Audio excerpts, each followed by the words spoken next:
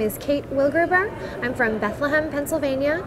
I am a patient advocate at a women's reproductive health center, and I come from a family of working class small business owners. I'm a secular humanist and I'm openly secular. I figured out what atheism was sometime probably in late high school, and then I discovered the local humanist group in my area in the Lehigh Valley and got involved with that. And once I learned more about uh, secular humanism and the, those values in the Humanist Manifesto, then I kind of relabeled as a secular humanist. Just making sure that you try to leave the world a better place than when you found it. Um, making sure that you stand for social justice and keeping the environment healthy and treating people with dignity and respect and charity, reason, compassion, and hope, right?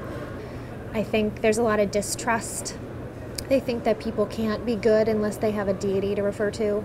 Um, I'm, I'm lucky that I live in a little bit of a liberal bubble by design, but there are people uh, in my family that I keep a bit on the periphery that aren't pleased.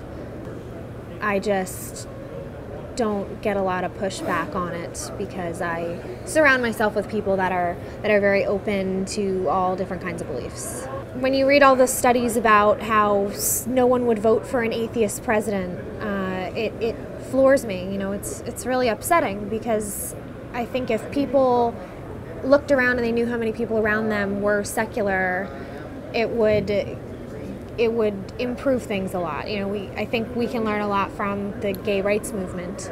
As soon as you know someone who's gay and you know that you care about them and love them, then you're more likely to fight for their rights and I think it's the same for us.